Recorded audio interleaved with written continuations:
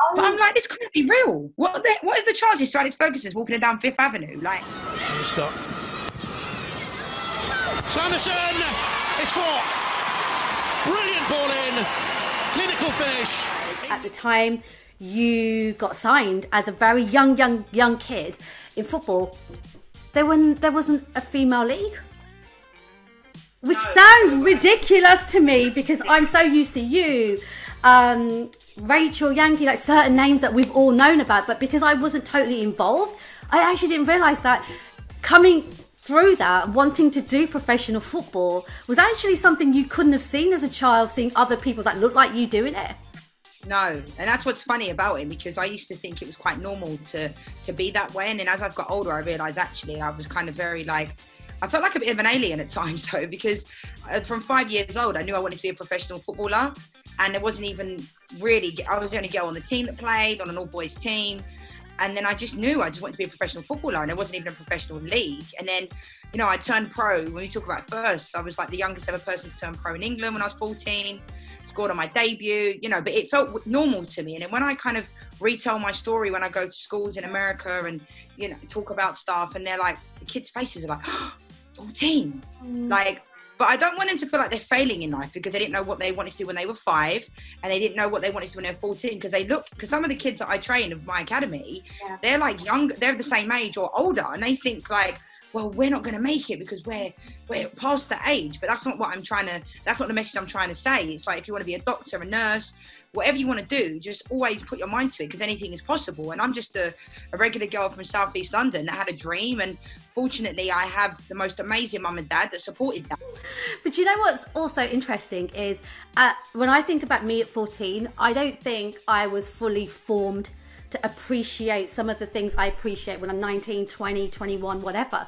Do you think when you look back, Lianne, and you were that young, do you really think you got to enjoy it or in the moment? Because when you're wearing an Arsenal shirt, like adults, everyone dreams about wearing a shirt with a name at the back. And you as a kid have got your own. Well, the thing is, it was like my dad's an Arsenal fan, so I he and I'm a Manchester United fan. So it's one of those things where, like I said, it just felt normal.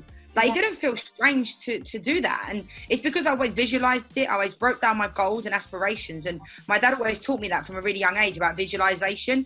And I used to think my dad was crazy. I'm like, what's my dad talking about? Law of attraction, and you know, if you put things out there, it can become a reality. And I used to think, nah, this ain't gonna work. And then actually, I started to visualize from from the age of like seven, and I thought, actually, my dad's got a point here because you know when you're a kid you think I just want to play football and he just said oh darling just have a try and stuff like that. So honestly Max everything that I've done everything that I do I always had the goal to do it and I always dreamed to do it and I was worked hard for it because nothing's been handed to me on the plate and that's what's interesting because I've almost had to reinvent my career with what happened with me in England and stuff like that. And that's that's also been that was quite traumatizing. But at the same time, everything happens for a reason. So it's like being that young and, and playing and having your name on the back of your shirt, you don't really think about it because it just felt normal to me. I think when things are equal, we're never going to make these points. That's when we know equality's worked.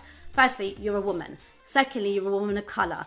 Third, you're a gay woman. Those are all different prejudices, racism, all sorts of shit that you have to deal with from society. I think I've learned to be not as naive. I think that's one thing. I think take care of me a little bit more, which is not something that comes natural to me because I'm a giver and I love to help people. So I've learned to be a little bit more selfish, if that's even possible for someone like me, because I really get a lot of joy out of helping people. But I've learned, you know what, if you can't help yourself, you can't help others. And I think 2020 was a hard year for everybody, but I think it taught me a lot. And I had an injury like four years ago. And I think I learned a lot about myself and others during that time because there were people that I thought would be there for me. And I know a lot of people felt that during COVID and lockdown, that some people they felt disappointed by that, I haven't checked in on them. Mm-hmm. I almost had that like four years ago when I got injured. Mm-hmm. So I kind of like reassessed my life. But I do think that I've had moments where people haven't chosen me because they they like me, but they don't trust having someone like me on TV. This was about 10 years ago because I have an opinion. Whereas if you notice in the last few years, people want people with an opinion now, which is how it should have always been. Because you don't want to every celebrity, every footballer after a game starts to sound the same it gets boring. And I understand what they're saying because they have a media person, they have a press person telling them what to say. Everyone says, Oh, why do everyone sound the same? Now, I have a hard time with that when I go into a change room after the game and there's a board up saying, These are our bullet points for what we're going to say to the press. It's like, professional footballer, I'm not gonna I'm not gonna say anything. We've already we've already been media trained. Trust us, you know. So I always found that quite hard when I'd go on. T- I, I went on Talksport when I was playing for England, and everything was so controlled that it might as well, I might as well have not been on there. Whereas now I go on Talksport regularly, and I absolutely love it. The guys are so controlled because I can tell you some of the football the, the guys that I've interviewed in my time. Um, the thing I learned about footballers is they're scared to show their personality the guys at least. The girls not so much which i love especially like you've shown me that. But um also i noticed that after 11 a.m they're bored out of their brains it's like they don't know what to do with themselves. They're watching mtv they want to listen to music. Yeah, playing Fortnite, playing Call of Duty, playing FIFA. your social skills are so limited because you're so controlled when you're not sorry when you're not doing your training because you're told you have to stay in your hotel. You have to be the same people. So yeah I, I don't know if i personally i mean i don't i get it as an athlete you guys have to be regimented and it's a different level of looking after your body. But what about your mind No, do you know what though? Like, it absolutely used to like really. I used to find it quite hard when we'd be at World Cups and stuff. And I think on the outside, everybody and I've absolutely I've been to two World Cups and I feel honoured that I got picked to go and play for England. Fantastic moment, especially in 2015 when I won the penalty, which made us win the bronze medal. The Fara Williams put it away, but I remember when Mark Sampson came in at the beginning, and it was fantastic because he just allowed us to wear our own clothes. Sounds silly, but we didn't have to walk around with a button-up polo shirt and a tracksuit 24 hours a day. Those small things, when you're away for two months, make a massive difference. Like allowing us to see our families. In 2007 in China, uh, my mum and dad came over to China. I literally did not see them. Did not see them. And you talk about the mind, like you need that time away. And I'm very much like my teammates know that when I have a day off, I love my teammates, but I don't want to be around them. I want to go away. I want to go and do something, whether it be on my own, because I can be better in myself if I go and I do things that people like, only you would find that. Like I'll find a spa, and it's like, well, no, you can too. Like it's not like you're restricted. So talking about the mind, how important it is. You know, I've been to 76 countries, and I feel blessed to have been able to go to 76 countries. But maybe only half of them, maybe even more than half, I haven't really seen them. How does it feel to be the first sometimes? Like, you know, when they, when, if I typed in your name, there'll be like different headlines that come up, things like, oh, the first open gay woman, da da da da da. I mean, it's a really big deal, especially in football. You're smiling, but let's be real. How many men in the Premiership probably are gay but don't speak out about it because of the pressure of what society will say? But I'm wondering, like, does it ever get to the point where you think, gosh, like I'm, I, I'm glad I spoke out and said how I, who I am, but at the same time, I don't want to be like the face of, hey, I'm the gay mixed race woman that plays internationally and is a professional footballer. Don't define me by that. I'm Lianne Sanderson. As, I, I mean, how do you feel about it? I'm smiling because I actually had this conversation when I was at Juventus with the press officer, and I said, "Look, I'm not doing any more interviews about being gay. Hmm. They might as well copy and paste all the ones that they've done. I've done a lot in my career. I'm happy that I can help people, but I'm just I want to be known as like not Lianne the gay footballer, Lianne the footballer that happens to be gay. Now I understand it's a very big deal. I love my LGBTQ plus work I do. It's it's something I hold very close to my heart. The amount of messages I get every day from kids, parents, emails, letters. It's amazing that I can be a role model to people. But I think it does it doesn't get tiring. It just gets a little bit like I've done a lot in my career. I've won everywhere I've gone. I've won a Champions League every single time, and that isn't through luck.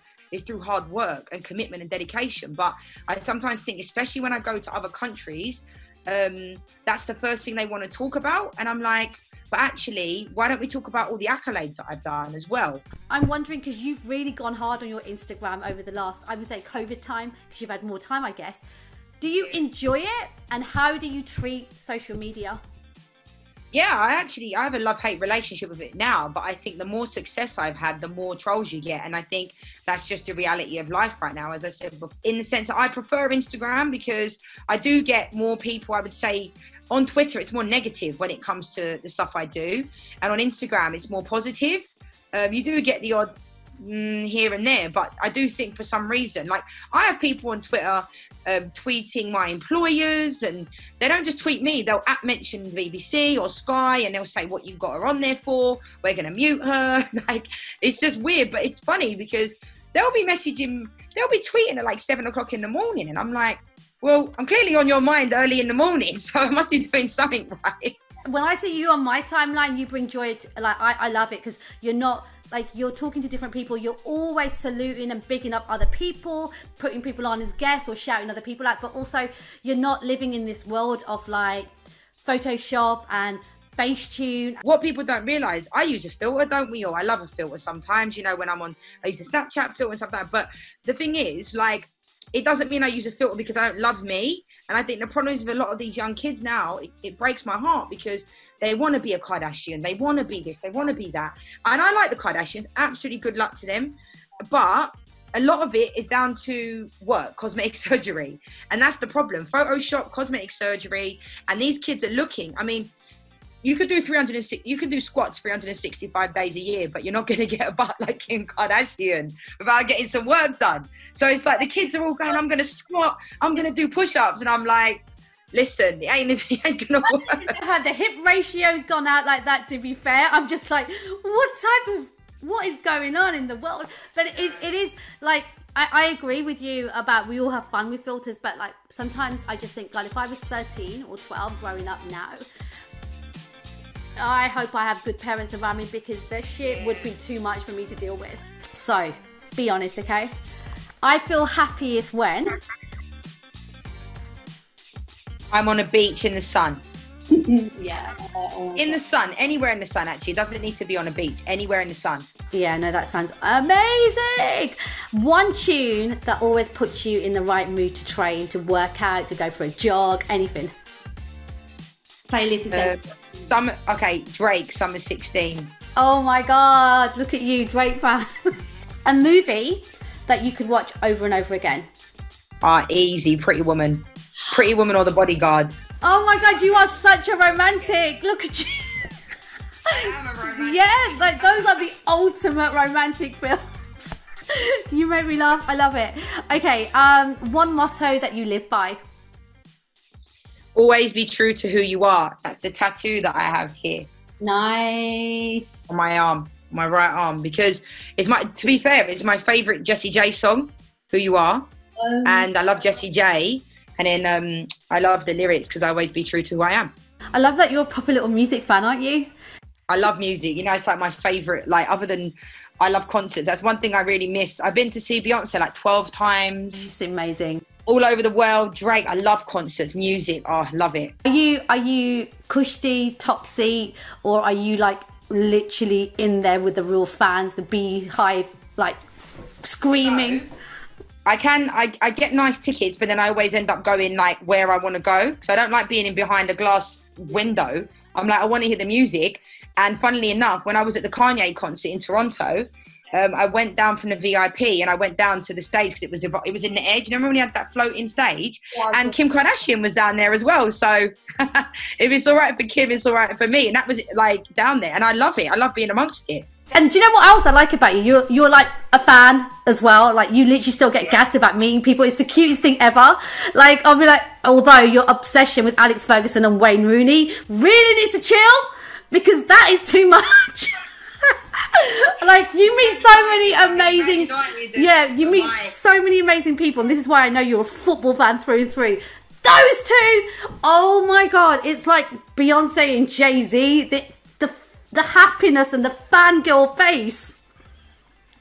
They i mean have you when you meet people like that you love like wayne rooney and sir alex don't you ever think god they say never meet your heroes they might be assholes like, is have you always been lucky? No, don't ever meet your heroes. They do say that, don't they? But to be honest, like Wayne Rooney became a really good friend of mine during my injury because he reached out to me. Um, and that's how, and he gets me tickets for the games. Honestly, it was fantastic. Like, because I got this message because he knew I'm a Man United fan, and he just said, "Heard you're injured." It was the most surreal experience. Like on my WhatsApp, I was thinking, "This can't be real." And I'm like, and I was literally not feeling good because I was injured in a leg brace and like literally invited me and my family to the game. It was unreal.